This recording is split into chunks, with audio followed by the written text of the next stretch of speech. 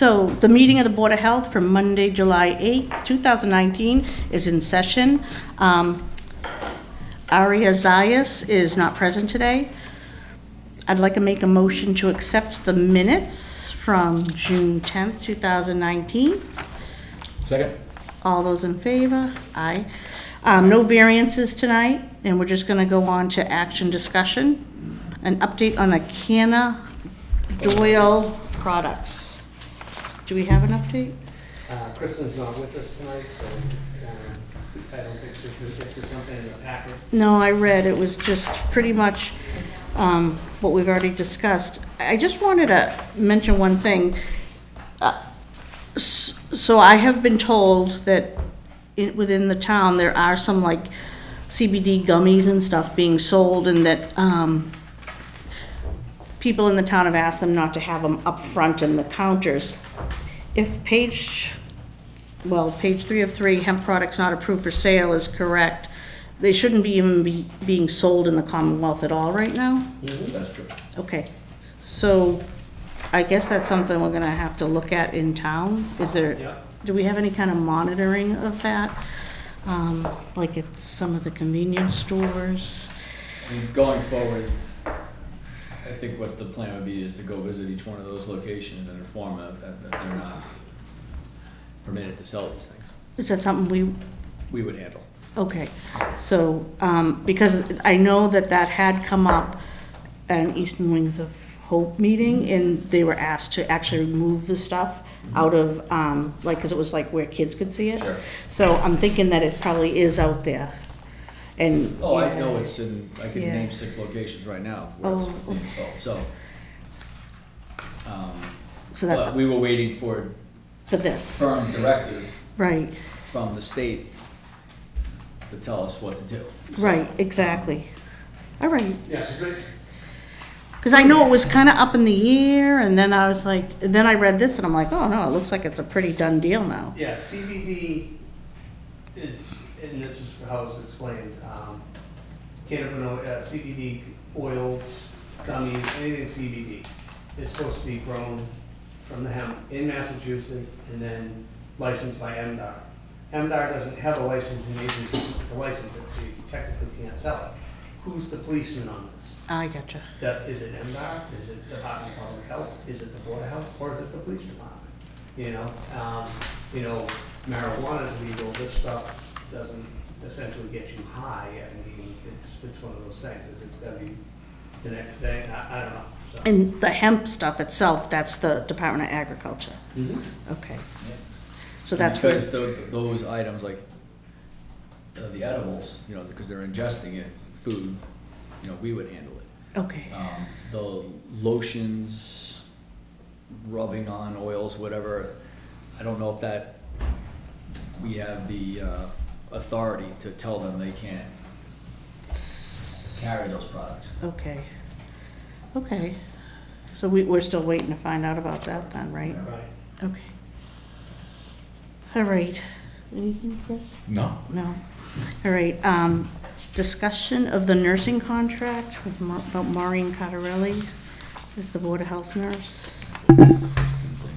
Yeah, um, that would, that would come under first Kristen. Okay. um, As far as that, the, I know that the contract has been put forth and stuff, and it's just a matter of s- signing it and being approved and stuff like that, so.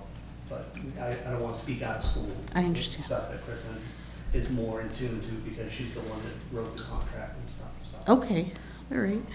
We'll table that. And then anything with the arbovirus, tick-borne, and mosquito-borne illness? I do have some information for you, and, and speaking with, um, the director of Bristol County Mosquito Control, um, last week, um, they said that their traps, uh, picking up the Culex uh, melanura mosquito, which is the mosquito that carries triple E, the ten-year, uh, mean for it is around hundred and fifty to two hundred mosquitoes per trap. Right now, we're getting twelve hundred of that mosquito that carries the disease. Because of all the rain we've gotten, Oh. we're no longer in a drought situation. Oh, Standing water everywhere. The swamps are full, the perfect breeding ground for the mosquitoes. We did larvicide in the beginning of the year, which is a good thing. And, um, so, that's, we're looking at, you know, next, she said that, um, probably this year, next year, and the year after, gonna be pretty bad. All it takes is that bird flying up from Florida that actually carries the disease to come in, and there's that many more mosquitoes to cross infect. So, just a advisory to the people at home to make sure they protect themselves with, you know, when you can, long sleeves, long pants, and bug spray with DEET. So, Okay, Did they raise our, um, No, not yet, Really? No. They gotta, they gotta get positive pools, we haven't got a positive triple E pool. And the- the statement that was made to me is that if you get a positive triple E before Fourth of July, more than likely they're gonna do aerial spraying. Hmm. So, but right now, we're, we're in a holding pattern, kind of waiting for it to happen. Hopefully it doesn't until late in the year, and then- then the cold weather will come in. So, and, and so you're saying that the DEET-free, all-natural sprays wouldn't, They're not gonna hurt, but the state still recommends okay, bug spray with DEET. okay, And if you don't like the fact that DEET's on your skin, then long sleeves and pants and spray Okay. on your clothing. So, okay. so that's a recommendation. So that's what I have up for you for alpha virus right now. So- Okay. And then D, we have a betterment application for two Merlin Drive. green folder is the, uh, Oh, Um, So, homeowner um, has a failed uh, Title V, you know, is just gonna repair the septic. Um, They're gonna, looking to take out the max thirty thousand dollar loan. um, And then w- they're gonna move forward regardless, getting the perc application done and, and drawn up, uh, the plans, but they're just looking for the thirty thousand for right now. Uh, They're in good standing with the town with their bills. And, Okay. um, That's it. Two Merlin Drive. You wanna make a motion? Yeah, make a motion to approve that. Two Merlin Drive is a betterment application. Second? All right, so then lastly, we have the inspectant agent's report. Is there anything? Well, I'm sure Tim doesn't have too much. He was, he Gone was, for two weeks. he was gone for two weeks. Yay. so Good for Tim. Um, uh, we, we do have some, um, complaints out there withstanding. Uh, we, w- one on Rockland Street, we had an above-ground pool that was not being maintained and, uh, causing mosquito harborage and stuff. That has been since removed, so that's, that's a good one. Um, in our favor that, you know, writing an order letter, they reacted very well. Um, we do have one in the mobile home park that is continual, and I am writing a second order letter tomorrow for that, that I inspected today. Um, and that's about it for that, and we do have one other one, a complaint that, uh, food quality wasn't up to snuff at the residence inn, and, um, they want us to go at evening hours around five thirty, so we'll have to go next Monday, uh, in there and see what, what we have for, uh, food quality temps and stuff, which I'm not overly concerned. So this was a, this was a restaurant? Uh, Or, The the residence inn. oh, okay, okay, okay. Pop's Liquors, so. um, Shaw's. Big structure next to the Shaw's. Oh, oh, oh, okay, Residence. I understand, yes. Yeah, Yes. Wow. so, Mm, I had just done their inspection not even two months ago. mhm. It was fine. so. Those are right. the re- most recent complaints that we have, so we do get a few. Um, there are other ones that were, we've gone on and they're public health issues. More, Yeah, it's more of talk to your neighbors, if you don't like something, maybe they'll help, you out. It's not a public health issue, you can't write something out for it. okay. That's about it. That sounds Um, good.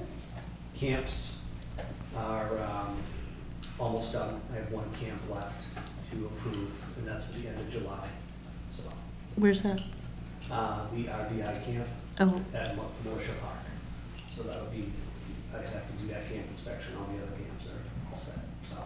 And Tim takes care of the pools. Have one more.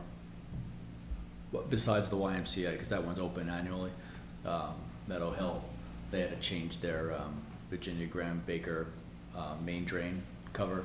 They have a shelf life, depending on what brand it is, or it's either five, seven, or ten years. And so theirs was, uh, expired. It- it- Change of management there too, so, and they have to get us water quality. um, Once a year, that's a requirement, so they're waiting for the lab to give us that back. But, Okay, so that, it should be done this week. I- It won't be a problem. That's it. all right. Well, I think we can make a motion to end the meeting today at 6:10 PM. Motion to adjourn. Uh, second? Second. All those in favor? Aye. Unanimous.